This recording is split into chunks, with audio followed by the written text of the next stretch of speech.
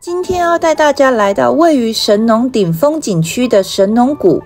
我们现在呢是开往位于景区里面的神农顶，这个地方呢就是号称华中屋脊的神农顶。从神农顶不远处就可以前往到我们今天要跟各位介绍的神农谷。Hello，这一集呢，老谢要带各位来这个神农谷呢走走。哎，我本来以为神农谷是一个。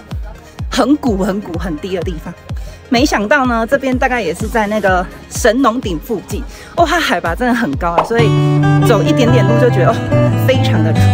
对，那据说呢，等一下我们是要就是爬这个楼梯上去，到那个另外一头看这个就是一个山谷。好，那我们赶快去看看吧。神农谷是作为神农架景区的精华之一，位于神农架主峰的西侧。以为呢要走很远的路，殊不知呢 十分钟而已啊！老谢就放心了。啊，我们快要到这个顶了呢，可以来带大家看一下那个神农谷的样子。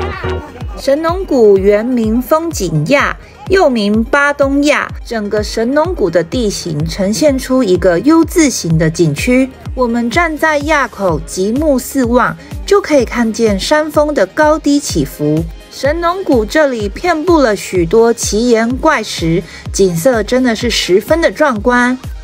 你看那个破影，这边是看神农谷最好的地方。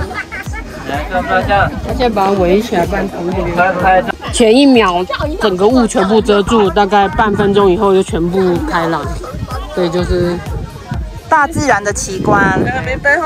得了，我们终于走到了这个神农谷。得了，有看到啊？这个观景台下面，大自然的奇观真的太厉害了。对，十分钟的旅程，对，我们就结束了。好了，那我们这一集呢，就带各位介绍到这里了。如果你喜欢我的影片呢，记得要帮我订阅、按赞、分享哦。拜拜。人们常说不到神农谷，枉到神农架。今天呢，老谢有幸来到了神农谷，终于不虚此行喽。如果你喜欢我的影片，记得要帮我订阅、按赞、分享哦，拜拜。